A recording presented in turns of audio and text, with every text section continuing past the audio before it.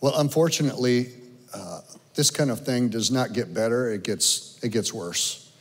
Um, there's already discussions that are taking place in Ivy League universities about redefining pedophilia as minor attracted persons and putting them within the, the alphabet line of LGBTQ. Some people are advocating for adding an M in there for minor attracted persons. This is, this is being discussed by social scientists, PhDs in Stanford. Uh, it's being uh, in, on the East Coast as well. I, I don't want to name a school flippantly because I'm, I'm, not exactly sure. I know at Stanford it's, it's been talked about, and it's beginning to show up in the peer reviewed literature. And what you probably don't know is that most things in culture start in universities as research and social sciences that then get peer reviewed documentation, get embraced by the medical and the psychological associations, then works its way down from high school, middle school, into elementary school, and then into the media, and then it's accepted. So, uh, long before we were laughing at Ellen DeGeneres as a comedian and talking about her coming out as gay and then gay marriage, long before that happened, it was being advocated in universities by social scientists. So this is how it happens. And I think that we are, we are beginning to see the normalization of, uh, of pedophilia. Um, that is not to say, by the way, that I am equating people at all that struggle with same sex attraction or gender dysphoria with an individual who wants to have sex with kids. Those, I'm, not, I'm not at all equating those.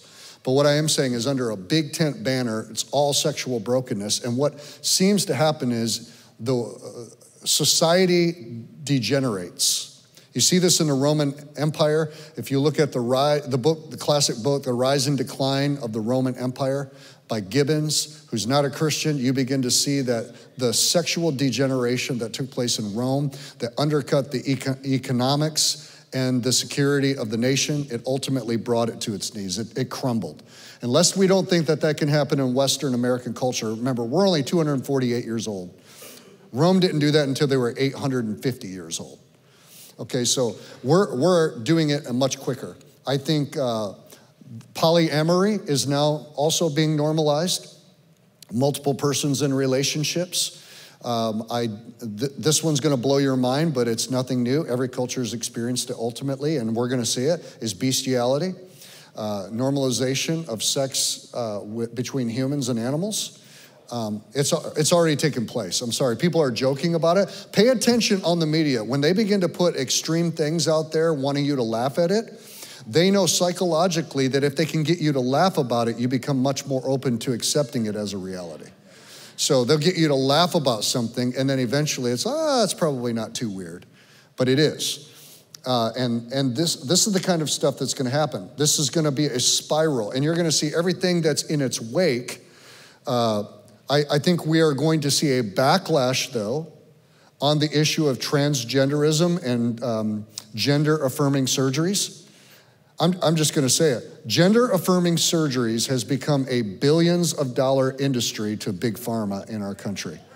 They are making billions of dollars, and they need a younger and a larger audience to sell all of the pharmaceuticals and the surgeries that are needed to do that. There is money behind that.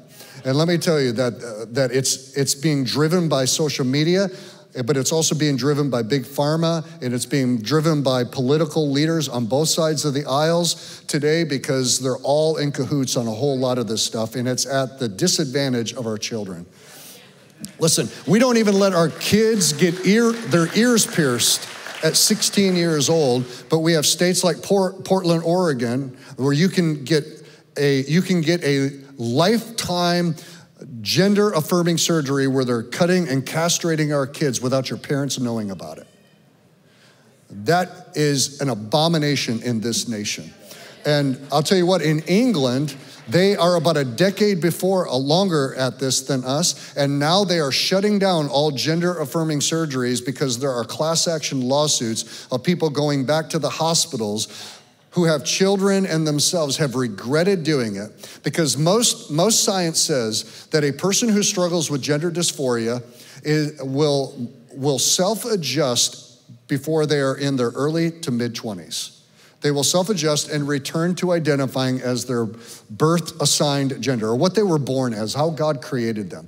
They've got confusion going on on the inside. We affirm that. We know that that's happening. But the answer is not to go into butcher your body and change it irreversibly and get you on a lifetime of hormones that you can't reverse, that cause you to be uh, infertile and are going to affect things like your voice and affect things like your ability to ever have marriage or, uh, or get married to a person of the opposite sex. This stuff is permanent. And so in England and in, in now in Scandinavia, they're, they're ceasing to do it, and there are class action lawsuits against these institutions. We are going to see that in the United States of America because there's going to be a swing back uh, of that. Now, with all of that said, let me just tell you that how the church should respond.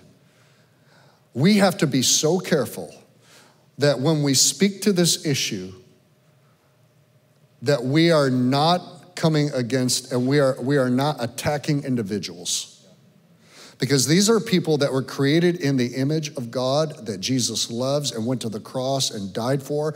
These are people that have deep, deep emotional and psychological needs and brokenness.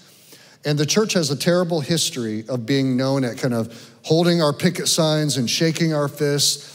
And we conflate the political battles that we have to fight with the individual stories of people who are broken and need to be loved and need friends and they need relationships. We, we can do both at the same time. We can fight these issues and we can be uh, engaged in these issues for the sake of our kids, and yet we can also love people well at the same time.